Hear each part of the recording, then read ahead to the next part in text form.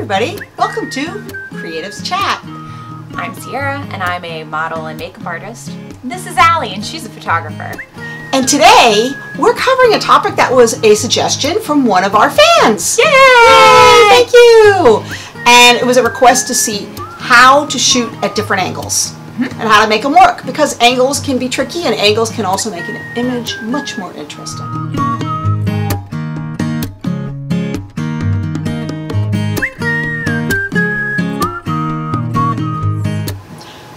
Our first angle is the low angle. That's where the photographer is down low, shooting up at the model. And this one's always kind of tricky because, uh, you know, sometimes you'll get images back and it's like looking right up my nose or, you know, I'm not look, I look way heavier than I should look. Like I know I'm not that heavy and, you know, it's just not, they're not attractive angles if you do the low angle pictures in not a great way. Exactly. So, So there's a few things I found help low angle shots work. One is lens choice. Mm-hmm. When you use a wide angle, you're going to always exaggerate whatever's closest to the camera is bigger. Like their feet might be the biggest thing, or their knees Yeah. and hips are big. Oh, and yeah. you really want to bring more attention to the upper body. yeah, How do you fix that?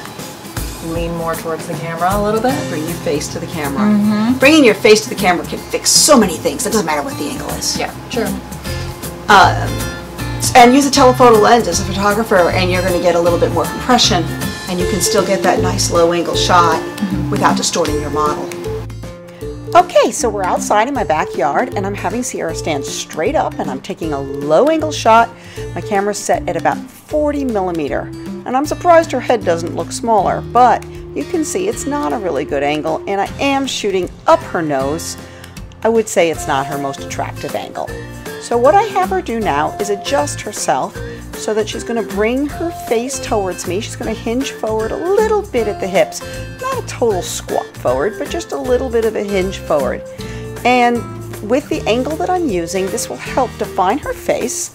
It will give her a better overall portion to her body. So from here, you can see the results and these side by side.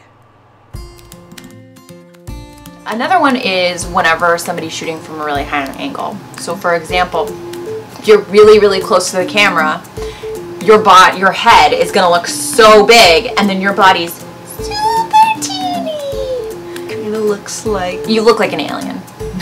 maybe a cartoon character. Yeah, a cartoon.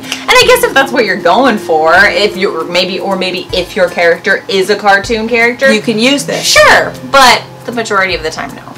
So one of the things here, lens choice, lens choice, lens choice. Yes. If you use a wide angle lens, you may have big eyes, big face, big head, Right. teeny weeny little body. And it really, the, here, this one depends on what you're trying to achieve because if you are going for the cartoon look, it's great. But what if you're shooting a boudoir and you want the model to look, you know, sexy? Yeah, Tiny little body isn't it's not gonna be great. so you could fix that again with a telephoto lens, which will not distort.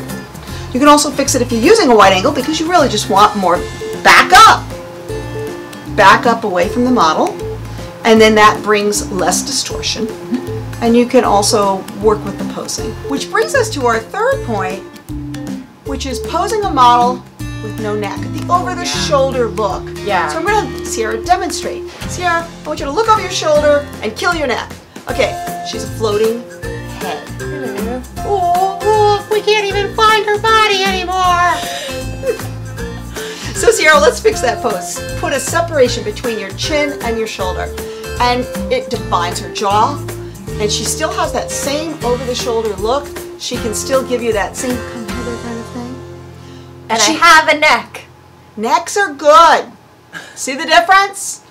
It really helps set off the face. So don't kill the neck. The neck wasn't, what did the neck do to you? So the last one, walking around the model Walk around your model. and find different angles to shoot. Play around with it. Get your safe shot first. Yep. and then play around. Yeah. I do this all the time with Sierra. Mm -hmm. And we would have actually shown it to you tonight, but there's a lot of bugs in the backyard, so you can figure out how to do this. this without a video. Walk around your model. Yep. Try some different angles. So in recap, shooting from a low angle, Shooting from a high angle. destroying the neck Bad posing. Yeah. And then making sure that you walk around the model to find different angles. So I hope this helps you with your photography and if you have any tips or any comments or if you'd like us to cover something else, Yeah. put it in the comments. We'd love to hear from you. So if you've liked this video, like, subscribe, And hit the bell. probably won't work. Just hit it. See you next time. All right, tell her we're in studio recording. Pretty sad. No, I can't. Brittany, too busy. I'm barely on my little seat. Look Why at this. you look move it? Why didn't think of ah! It doesn't move. It's full of You're shit. like you're still out, woman. At the very end of the freaking show, There then you go. suddenly move me in. Yes.